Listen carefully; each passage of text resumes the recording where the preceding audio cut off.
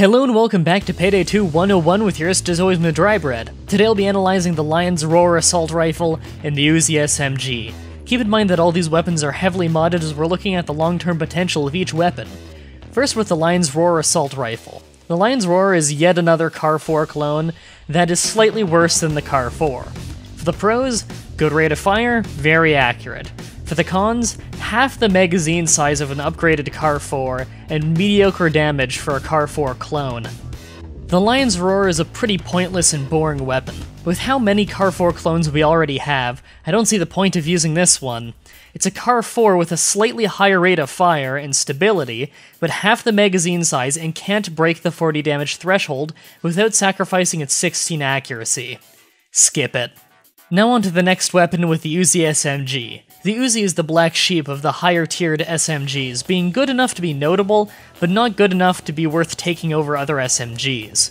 For the pros, great accuracy and great stability. For the cons, low rate of fire for its damage. Overall, the Uzi is another SMG that's good, but not great. There's nothing that it can do that others can't. It can't outlast the Cobra, and it can't outdamage the Kobus 90. Skip it.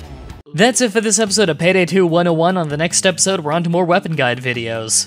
If you're interested in this series and would like to watch more, a link to the playlist will both be on screen as well as in the description. This series will be ever updating as new patches change the game, so I'll keep you guys up to date. If you want to play Payday 2 with me, I play with the viewers on my stream whenever I stream Payday 2. You'll see a link to my Hitbox streaming account in the description. If you're looking for some teammates to play with, why not join in my Steam group linked in the description, and if you want to keep up with me, I have my Facebook fan page and Twitter linked down there as well. Feel free to request I talk about anything in the game as long as I don't already have a video on it in the playlist, and I look forward to seeing everyone's feedback. If you want to see me play some more Payday 2, click the video on the left to check out my playlist of my Payday 2 streams, and if you want to see a different game, the video on the right is of one of my newest playthroughs.